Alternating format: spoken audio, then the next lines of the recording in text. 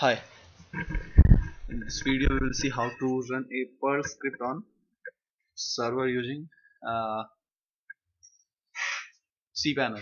So first of all we have to log in into our cPanel account.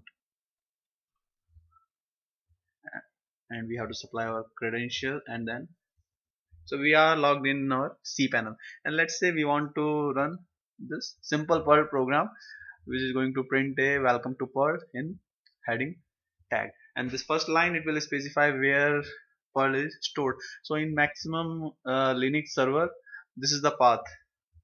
In USA a user directory bin Perl. So this is the path we have to specify. So it will be used to execute our Perl program.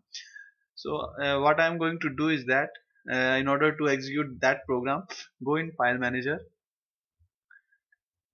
public HTML and all your Perl program has to be uploaded in CGI and a hyphen bin. So uh, in this directory we are going to upload all our Perl files. So this is the directory we are going to upload. So let's say we will upload uh, we will select our file.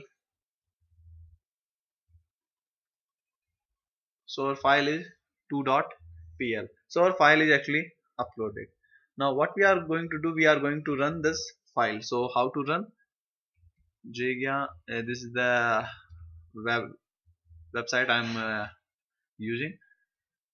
So here we have to write CGI bin and then name of the file. So when you run this program uh, you will see this error internal server error and this uh, error actually from the server side. From client side there is no issue but from server side there are some issue. So what is the problem with this one? So first thing is that uh, we have to change this programs. How what changes we have to make? So first of all go to edit mode for this file.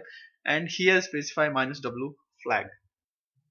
This is the first change we have to do. Second change we have to print we have to specify what type of content we are going to send. So content type in content type we will send text or HTML after this one we will specify to new line so these are the change we are making. So now this part is done. Next thing what we have to do we have to change permission for this file. So we will uh, right click on this file. We will go in change permission. And here if you can see these permission are 644 so it is not allowing to execute. So we will make them 755 so we will give this execute permission to everyone. Okay. So now we will again rerun this program. Okay so our program is executed. Thank you very much for watching